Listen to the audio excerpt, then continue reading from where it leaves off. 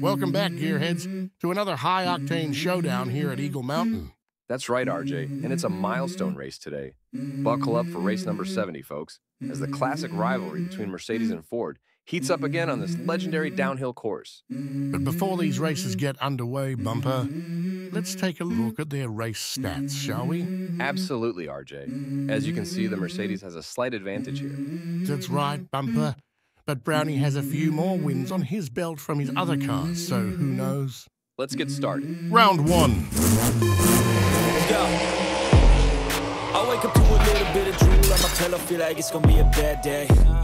Yeah, I'm tired of shit, and the coffee ain't hit yet, damn, ain't that great. I don't wanna go to work, cause my boss is a jerk, and I'm not even that paid. I need a change in my life, cause I don't feel alive, and there's nothing that makes me happy. Oh, hold my beer for a Round minute. two. I'm about to quit my job, cash in for a ticket. I'm going on a trip, and I don't plan to visit. I'm gonna stay there till I feel like I'm winning. Oh. And this is just the beginning. I need a big change, help me feel like living. I need a big swing, home runs I'm hitting, and I'll never look back. Moving on till I get it all. And we all got dreams. No driver error there, folks.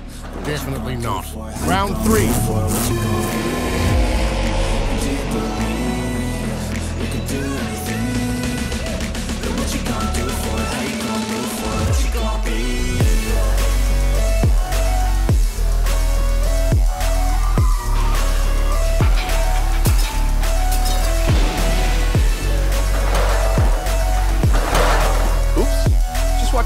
Watch out for rubber, folks. Let's go. Final round. Yeah, this is my life, my strife, my right to fight, to die on. And this is my game to play, to claim a brand new name. Oh, and I ain't gonna lie to you, I'm a bit nervous that I might screw everything up that I've ever done. But what's the point of living if you ain't having fun? I guess I'll try this, try that. Thanks for watching. know what I'm good at. See you next time back at the mountain. See you next time, folks.